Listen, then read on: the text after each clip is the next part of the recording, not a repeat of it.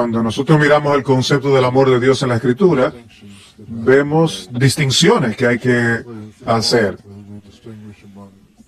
Teológicamente distinguimos entre tres tipos de amor divino.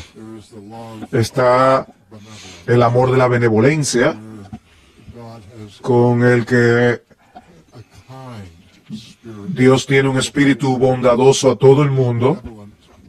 Es benévolo, su voluntad benévola, su amor benévolo cae sobre todos. Pero también está el sentido en que el amor de Dios se define en términos de su beneficencia. No es sencillamente lo que es su actitud hacia el mundo, sino cómo Él despliega esa bondad. Universalmente, la lluvia cae sobre justos e injustos, y, y esa dimensión universal del amor de Dios se manifiesta. Pero usualmente, cuando estamos hablando del amor de Dios en el lenguaje popular, lo que de lo que estamos hablando es el, el, amor de complacencia. Y ese amor de complacencia, ese término, no se usa en la manera en que nosotros utilizamos el término complacencia en nuestra era y nuestra cultura.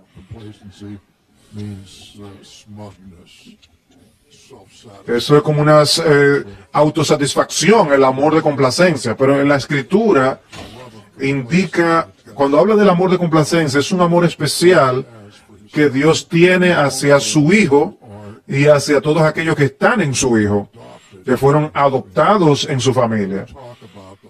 Y si hablamos del amor de Dios en, en el término del amor de complacencia, y lo hablas en términos universales, eso es blasfemia.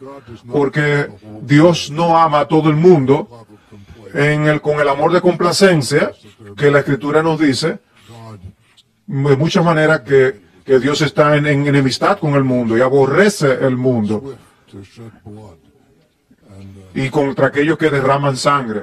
Y tenemos que tomar eso en cuenta. Cuando yo oigo predicadores decir que Dios ama a todo el mundo incondicionalmente, yo quiero gritar y decir, un momento, pero ¿y por qué llama arrepentimiento? ¿Por qué llama a venir a la cruz? ¿Por qué a venir a Cristo? Si Dios llama a todo incondicionalmente, entonces puedes hacer lo que tú quieras.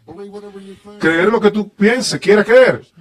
Pero eso sencillamente no es verdad del amor de Dios.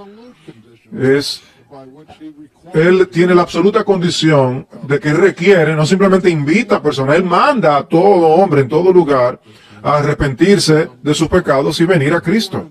Si ustedes quieren disfrutar el amor de la complacencia, tiene que estar en Cristo.